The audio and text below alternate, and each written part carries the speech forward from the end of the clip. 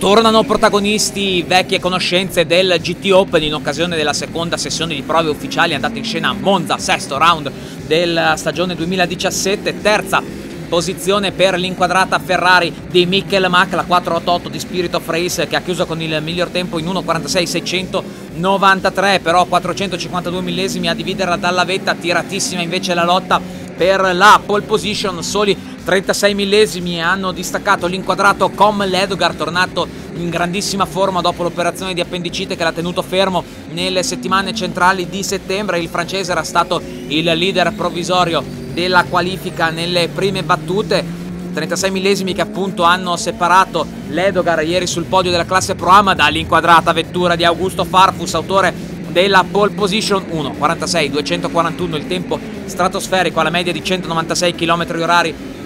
che ha dato la possibilità alla BMW M6 del team Tio Martin di partire davanti a tutti. Dunque Farfus arriva dal DTM e si impone anche nel GT Open un risultato di grandissimo spessore che mette appunto in prima fila due piloti Platinum, Farfus e Ledogar davanti a Mac e Rueda più attardato, quinto Giovanni Venturini, leader di campionato, solo sesta la Lamborghini Gallardo vincitrice di gara 1 con Seb Morris, chiudono la top 10 Gianmaria Costa, Griffin, Lancieri ed Edoardo Liberati.